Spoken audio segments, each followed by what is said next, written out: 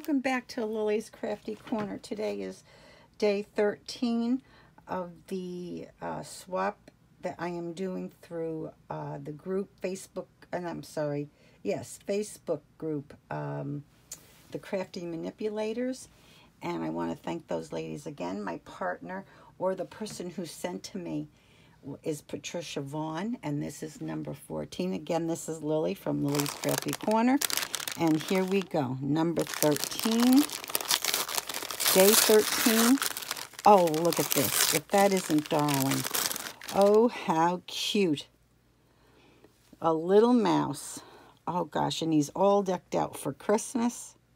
Oh, that's cute. I think I will stick him right on my tree. Our tree has been up since the day before Thanksgiving.